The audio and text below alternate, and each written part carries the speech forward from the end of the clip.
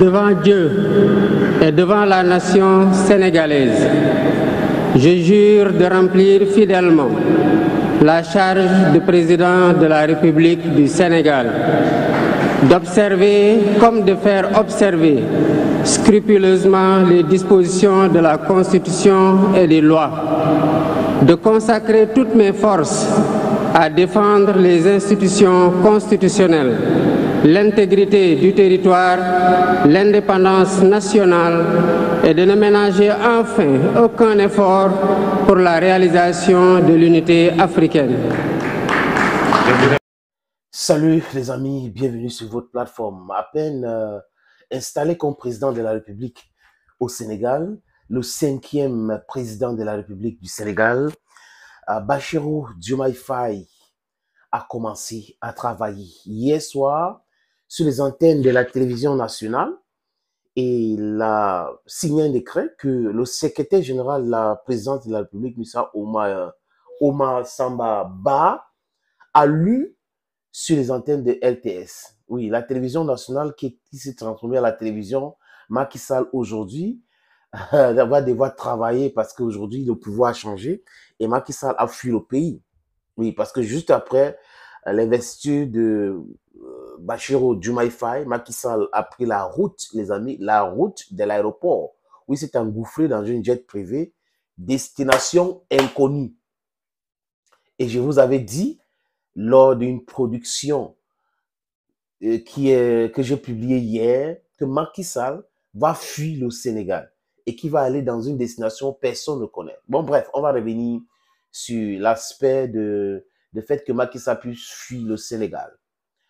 Euh, Bachir Faye nomme qui comme Premier ministre, les amis Le décret dit simplement que M. Ba a lu, le Premier ministre chef du gouvernement s'appelle Ousmane Sonko. Rappelez-vous que si Bachir Faye est président de la République aujourd'hui, ceci parce que euh, Ousmane Sonko était clairvoyant, parce qu'il a voulu aussi, il a, choisi, et le peuple qui suit euh, Ousmane Sonko aujourd'hui a, dit, bon, si vous dites que c'est X, ça veut dire qu'on euh, on peut faire confiance à la personne. Donc, c'est parce que Ousmane Sonko a soutenu la candidature euh, de Diomaye Faye qu'il est devenu président, mais aussi parce que le, le peuple sénégalais euh, adore Ousmane Sonko. Donc, ils font confiance à M. Diomaye Faye, espérant que cet opposant de gauche va faire quelque chose de formidable dans son pays. Je vois des plateaux de débat en France. Non, il va pas faire ci, il va pas faire ça. La monnaie reste. Il ne va pas toucher la, bases, la base militaire française. Il y a aussi une base américaine. Il va pas toucher. Vous ne pouvez pas, avec certitude, commencer à parler comme ça alors que c'est-à-dire que à quelques heures même de son installation au pouvoir. C'est-à-dire que les, les, Français, les Européens ou les Occidentaux pensent que à force de parler à la télévision avec des soi-disant experts, va passer un message et que euh, ça va faire en sorte que le président de la République du Sénégal va pas faire son travail. C'est faux et archi faux. Rappelez-vous ce qu'il avait dit lors de la campagne. Quand il sort de la prison avec Ousmane Sonko, qu'est-ce qu'il avait dit? Le pays sera dirigé par le Premier ministre. Le Premier ministre aura tous les pouvoirs. Donc, ce n'est pas comme l'ancien gouvernement de Macky Sall.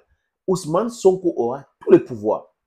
C'est pas comme au Cameroun, on nomme euh, le, premier ministre le même jour que les autres ministres. Donc, il y a un premier décret qui nomme le premier ministre, deuxième décret qui nomme euh, les, ministres. Conséquence, les ministres ne peuvent pas respecter le premier ministre parce qu'il est que premier des ministres, il n'est pas premier ministre, donc il n'est pas véritablement le chef. Mais au Sénégal, qu'est-ce qui s'est passé?